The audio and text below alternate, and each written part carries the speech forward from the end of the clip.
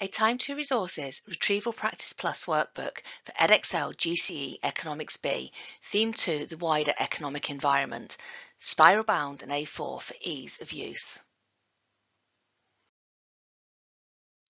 With a clear focus on retrieval practice, this workbook will enable students to organise and consolidate their knowledge, which is an essential first step to exam success. Also features elaborative interrogation and link questions to encourage greater thought and opportunities to practice numerical techniques. Clearly follows the specification. Retrieval of key terms and relevant points. providing explanations to show understanding or developing arguments on how and why questions. Retrieval of formula and calculation practice.